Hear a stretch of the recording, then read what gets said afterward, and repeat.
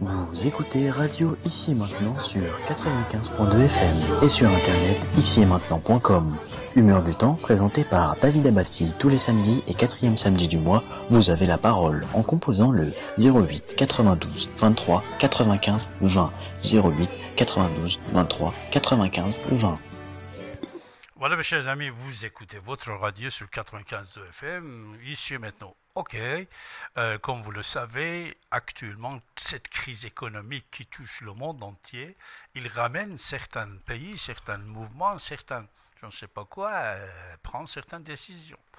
Mais de l'autre côté, euh, sans aucun doute, cette guerre économique euh, déclarée dans le monde, vous voyez également des manifestations qui sortent. Par exemple, euh, le plus important actuellement, c'est à Hong Kong. À Hong Kong, 7 millions d'habitants, 2 millions étaient dans la rue. Alors tout d'un coup, tout d'un coup, il faut penser, après des années, seulement au moment, au moment que la Chine a des problèmes avec les Américains, cette manifestation va éclater et va continuer, vous allez voir. Mais autre chose que vous allez voir, le jour, le jour que les Américains, ils se mettent d'accord avec les Chinois, comme Macron, il a ramené ici Donald Trump, il a presque réglé le pro problème de GAFA, c'est-à-dire le taxe de GAFA sur GAFA, ça veut dire Google, Amazon, Facebook. Oh, ils ont ramené une taxe internationale, 4%. 4%. Euh, comme ça, tout le monde était d'accord. Il a pris même l'accord de Donald Trump.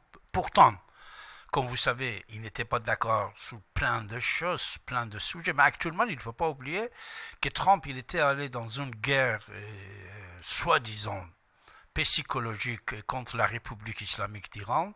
Mais après, tout un coup, il a compris que ce n'était pas ce qu'on l'avait informé, puisque les informations qu'on l'avait données, ce n'était pas correct.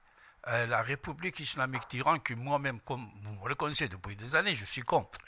Mais il y en a une réalité de choses qu'il faut le comprendre. Même ton ennemi, tu dois le connaître. La puissance qu'il a et la faiblesse qu'il a. Alors, dans plusieurs pays, même euh, Trump, euh, quand il était avec euh, G7, lui-même il a précisé qu'il y avait 18 points méchants gérés par la République islamique d'Iran. Vous connaissez Yémen, Liban, Irak, Syrie, et certains d'autres endroits en Afrique et tout ça. Mais quand le président américain il parle de 17 points, c'est 17 forces mondiales avec l'empire chiite qu'ils ont créé. L'empire chiite, c'est un empire caché. Caché. Ils ont fait fabriquer ça depuis longtemps. C'est très important. Alors ça, comment on va jouer en face de cette euh, grandeur, soi-disant, d'un islam qui vient de la République islamique d'Iran, l'autre islam aussi fort dans le monde islam politique, qui vient de la Turquie, et l'autre islam aussi qui est fort, mais il vient d'Arabie saoudite, une grande partie des pays arabo-musulmans financés. C'est-à-dire vous avez trois forces islamiques dans le monde, en concurrence, en faisant la guerre, pour prendre la tête. Et de l'autre côté, il y a l'histoire de pétrodollar, l'achat et la vente de pétrole, bien sûr, et des armements. Des. Si on a fabriqué des armements nouvelles, il faut l'essayer. Si les Russes, Russes, les Russes, s'ils ont des missiles, il faut voir si les Américains ou l'Europe ou l'Israël, ils peuvent avoir le synthèse ou plutôt l'antithèse, s'il peut faire face aux missiles de la Russie. Alors la Russie, pour améliorer la capacité de ses armements nouvelles, il a besoin de le lancer quelque part, qu'il soit au Yémen ou à partir de Liban. Parce qu'imaginez-vous, c'est des mensonges ce qu'on dit. La République islamique d'Iran, il n'a pas la capacité de fabriquer des missiles. Il l'achète. Il l'achète. Après, ils vont faire peut-être le montage au fait donner une couche de peinture euh, en mettant le, logo euh, de, leur pays, mais la tête comme nucléaire, c'est en dehors de l'Iran. Vous savez, jusqu'à maintenant, même concernant le nucléaire, 12 savants nucléaires iraniens ont été assassinés, ont été assassinés. C'est-à-dire, même s'il avait des choses, il n'avait pas 50 euh, scientifiques nucléaires. Alors, 12 qui étaient assassinés, c'est important.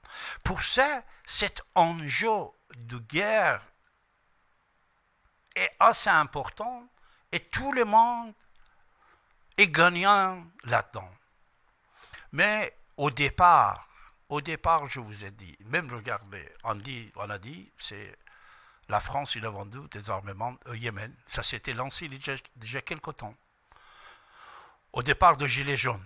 Mais après, c'est fini, on n'en parle plus de ça. Après Gilets jaunes, on n'a plus parlé de ça. Pour ça, pétrole, armement, le finance, le finance qui finance tous les deux.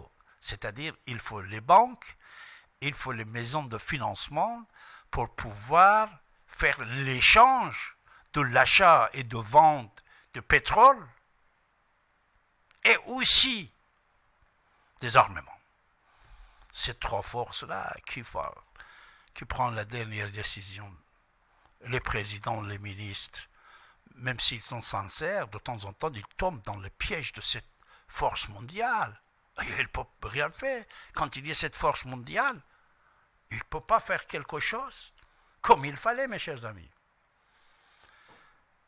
Allez, on va essayer de joindre notre invité Abachar Farid, mes chers amis, et vous écoutez quoi, votre radio, ici maintenant, sur 95.2 FM.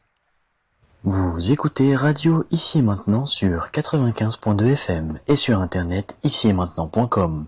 Humeur du temps, présenté par David Abbassi tous les samedis et quatrième samedi du mois, vous avez la parole en composant le 08 92 23 95 20 08 92 23 95 20.